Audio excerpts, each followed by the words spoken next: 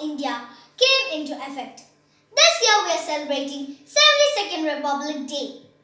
We are all aware that India got its independence on August 15, 1947.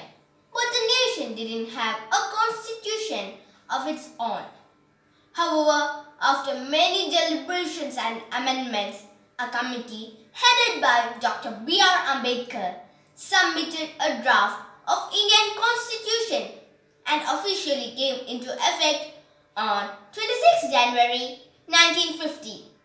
It's a day that makes us think beyond the caste, creed, religion, state, language and color. And we all feel the same emotion of loving our country. Let's hear a quote from Sarojini Naidu, the Nightingale of India.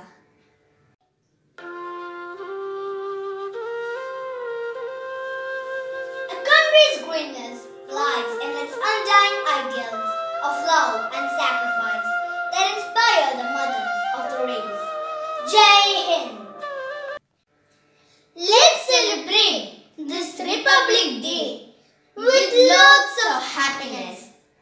If you like this video, don't forget to like,